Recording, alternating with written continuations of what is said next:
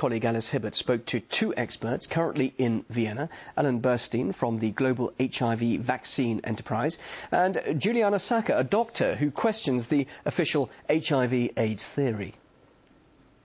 And nobody could give me the paper where HIV is isolated uh, in the way uh, scientists uh, were asking for it since the 70 uh, since the 70s.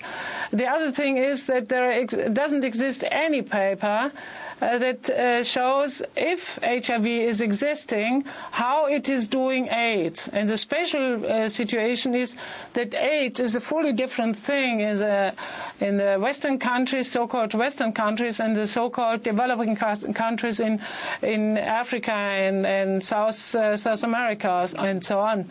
So it is. It doesn't fit in a normal virus uh, disease because viruses uh, only can make a very few things. They are not uh, so intelligent to do so many things. It doesn't fit in a viral cause. Okay, let's uh, turn to Mr. Bernstein there. What's your reaction to that? Yeah. Well, a, a, couple of points. Um, the first point that, that, that's been raised is the virus has never been isolated. Well, that simply is not true. Um, the virus has been isolated. It's been molecularly cloned using uh, DNA cloning technologies. It's been sequenced literally thousands of times from different individuals infected with the virus. And so uh, it simply isn't true to say it's never been isolated. Secondly, um, uh, no one knows how the virus causes immunodeficiency is also not true.